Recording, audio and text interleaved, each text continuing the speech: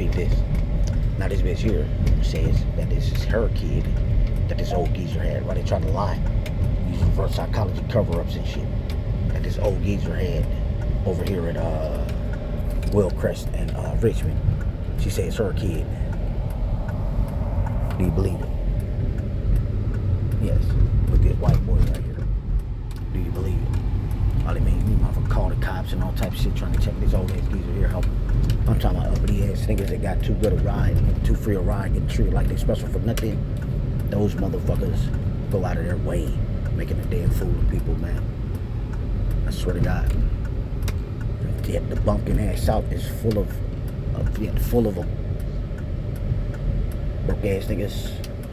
They earn no money. Living off other niggas' lives, showing, showing their ass.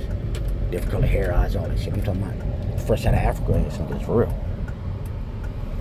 I look like the kid, the Kia motherfucking K5 a little bit. So you tell my motherfucking shit going over the top for real. Fresh out of Africa for real. We'll come over here with that bullshit, bro. Me and White taking top dollar credit. Talking shit with the fucking Aryan Nation, calling niggas, calling people inferior. And motherfucking slaves and shit, calling us inferior slaves and shit. And motherfucking robbing us all blind. You understand?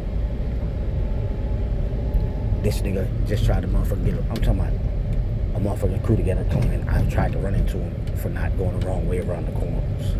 Around the motherfucking corners. I'm talking so you see petty ass niggas right, riding it the fuck out knowing you got your gun license, you ain't joined a security firm, you ain't got your motherfucking money together yet, enough to motherfucking, you understand? So on and so forth. Old ass trick motherfuckers taught them to do it. Understand? Ain't gotta be shit. Shit. Now this motherfucker is just on the camera. Now he say he fucked some of these little ass girls here. Yeah, and so he's trying to fuck my goddamn, uh, my daughter. Wanna bet that be my daughter. But nonetheless, for real, I need to get shameless, nigga. Had no shame, pitiful. You know what I'm about? Just pitiful. It's proud, nigga. The squarest motherfucking fake gangster niggas ever, nigga. Real. Now it's not about being gangster now. It's about being whatever the fuck I, I am. And make you believe they gonna leech the fuck off me the rest of my life. You know I'm saying fuck this, fuck the square ass T.A. Millers. You understand?